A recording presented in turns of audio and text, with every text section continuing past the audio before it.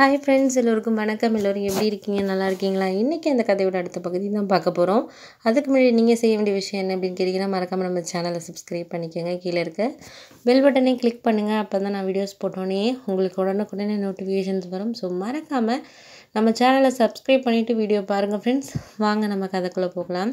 அதுக்கப்புறம் வந்து அக்காவோட கல்யாணத்தை பற்றி அம்மா அப்பா கிட்டே பேசினதுக்கப்புறம் வந்து ஒரு முடிவு கிடச்சிச்சு அப்படின்னு தான் சொல்லணும். அப்பா அம்மா என்ன சொன்னாங்கன்னா இந்த கல்யாணத்தில் எங்களுக்கு வந்து சம்மதம் தான். ஆனால் வந்து இதனால் வந்து நீ இந்த விஷயத்த சொல்லாதனால வந்து உன் தம்பியோட ஃப்ரெண்டோட அண்ணனுக்கு வந்து நிச்சயத்துக்கெல்லாம் ஏற்பாடு பண்ணியாச்சு. இப்போ அவங்களுக்கு நம்ம என்ன பதில் சொல்கிறது அப்படிங்கிற மாதிரி அப்பா ரொம்ப யோசிச்சுக்கிட்டே இருந்தார். அதுக்கப்புறம் வந்து லதாக்கா சொன்னாங்க அதெல்லாம் நீங்கள் வந்து ஒன்றும் நீங்கள் கவலைப்பட வேணாம். நானும் நீங்களும் போய் பேசுவோம் உங்கள் வீட்டில் மாப்பிள்ளை வீட்டில் பேசுவோம் இது மாதிரி விஷயம் அப்படிங்கிறது. அவங்கள்ட்ட நம்ம எடுத்து சொன்னோன்னா அவங்க கண்டிப்பாக கேட்பாங்க அப்படிங்கிற மாதிரி லதாக்கா சொன்னாங்க. அவங்க சொன்னதும் எங்கள் அப்பாவுக்கு கொஞ்சம் நம்பிக்கை வந்துச்சு. ஏன் அப்படின்னா நம்ம வந்து இப்போ நிச்சயத்துக்குன்னா ஒரு வாரம் தான் இருக்குது அப்படிங்கிறப்போ நம்ம எல்லா வேலையும் முடிஞ்சாச்சு. அப்படி இருக்கிறப்ப நம்ம இது மாதிரி வந்து அவங்க வீட்டில் போய் சொன்னோன்னா அவங்க என்ன ஒரு இதில் இது பண்ணுவாங்க அப்படிங்கிறது மாதிரி ஒரு குழப்பத்தில் தான் நானும் அம்மா அப்பா எல்லாருமே வந்து அவங்க வீட்டுக்கு போனோம். அப்போ ரகு இருந்தான் வாங்க என்ன திடீர்னு வந்திருக்கீங்க? அப்படின்னு சொல்லிட்டு அப்புறம் கேட்டான். ஆனால் ஃபோன் கூட பண்ணாமல் வந்துட்டியே என்னாச்சு அப்படின்னு சொல்லிட்டு இல்லை ஒரு விஷயம் பேசணும். அப்படின்னு சொன்னதுக்கு அவனுக்கு தெரிஞ்சிடுச்சு. ஏதோ நாங்கள் வந்து ஏதோ ஒரு முக்கியமான விஷயந்தான் வந்து பேச வந்திருக்கோம் அப்படின்னு சொல்லிட்டு தெரிஞ்சிருச்சு. அவன் உடனே வந்து வாங்க அப்படின்னு சொல்லிட்டு அப்புறம் எல்லோரையும் அழைச்சிட்டு போய் உட்கார வச்சான் அப்பா எங்கே? அப்படின்னு சொல்லிட்டு நான் கேட்டதுக்கு இந்த இருக்கார் ரூமில் இருக்காங்க. நான் போய் சொல்லிட்டு வர வராங்க. அப்படின்னு சொல்லிட்டு சொன்னதுக்கு அதுக்கப்புறம் வெயிட் பண்ணிகிட்டு இருந்தோம். அப்புறம் வந்து மாப்பிள்ளையோட அம்மா எல்லோரும் வந்தாங்க. வாங்க எப்படி இருக்கீங்க? என்ன? இன்னும் எல்லா வேலையும் முடிஞ்சிருச்சா? அப்படின்னு சொல்லிட்டு அவங்க ஆர்வமாக எல்லா விஷயத்தையுமே கேட்டுக்கிட்டு இருந்தாங்க. நாங்களும் எல்லா வேலையும் முடிச்சிட்டோம் அப்படிங்கிற மாதிரி சொன்னாங்க. அதில் தாம்மா வந்து உங்ககிட்ட நாங்கள் அதை பற்றி தான் பேசுகிறதுக்கு வந்தோம். அப்படின்னத்துக்கு என்ன இப்போ திடீர்னு என்ன பேசுகிறதுக்கு என்ன இருக்குது ஏதாச்சும் சொன்னால் நீங்கள் சொல்லியிருந்திருக்கலாம். ஏன் நேரில் வரக்கூடிய அளவுக்கு என்ன முக்கியமானது அப்படின்னு கேட்டதுக்கு எங்கள் பொண்ணு பண்ண விஷயத்தினால நாங்கள் இப்போ வந்து உங்ககிட்ட பதில் சொல்ல வேண்டிய நிலமையில தான் இருக்கோம். எங்களுக்கு இந்த இதில் நீங்கள் என்ன விஷயம் வந்து இதை எடுத்துக்கிட்டு நீங்கள் சொன்னாலும் வந்து அதில் ஒன்றும் இது இல்லை அப்படிங்கிற மாதிரி சொன்னோடனே வந்து அவர் அப்பா வந்து கொஞ்சம் புரிஞ்சுக்கிறவராக இருந்தார்.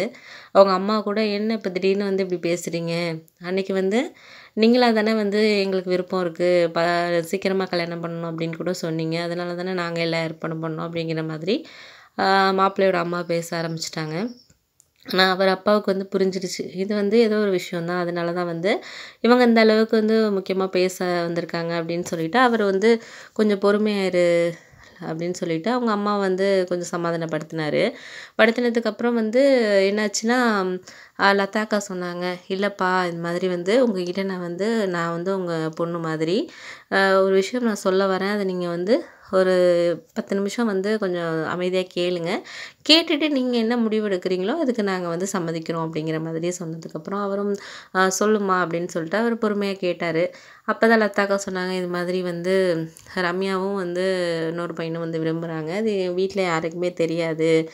அவங்களுக்குள்ள ஒரு கல்யாணம் பே பண்ணணும் அப்படிங்கிற மாதிரி இந்த விஷயத்த வந்து சொன்னதுக்கப்புறம் அந்த பையன் வீட்டில் வந்து ஒரு வருஷம் டைம் கேட்டிருக்காங்க. அதுக்கு ரம்யா வந்து அவங்களுக்குள்ளேயே பேசிக்கிட்டு எந்த முடிவும் எடுக்க முடியாமல் இந்த கல்யாணத்துக்கு வந்து சம்மதம் அப்படின்னு சொல்லிட்டா. ரெண்டு நாளைக்கு முன்னாடி தான் வந்து இந்த விஷயமே வந்து அவங்க ஃப்ரெண்டோட தம்பிக்கே தெரிஞ்சிச்சு. அவன் அதுக்கப்புறம் தான் வந்து என்கிட்ட பேசினா நான் வந்து அந்த மாப்பிள்ளை வீட்டில் போய் பேசினேன்.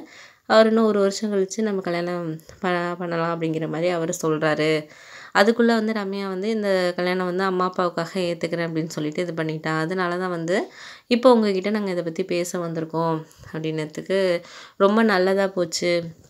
ஏன் அப்படின்னா நீங்கள் வந்து இது வந்து எங்கள்கிட்ட வந்து இந்த அளவுக்கு வந்து சொல்லணுங்கிற ஒரு இது இல்லை. ஏன்னா வந்து இப்போ உள்ள இதில் வந்து அவங்கவுங்க வாழ்க்கையை அவங்கவுங்க தேர்ந்தெடுக்கிற வேண்டிய ஒரு எல்லாருக்குமே விருப்பங்கிறது இருக்குது அம்மா அப்பா என்ன தான் வந்து சொன்னாலுமே அவங்களுக்குன்னு ஒரு தனிப்பட்ட விருப்பத்தினால தான் வந்து எல்லாருமே இது பண்ணிகிட்டு இருக்காங்க.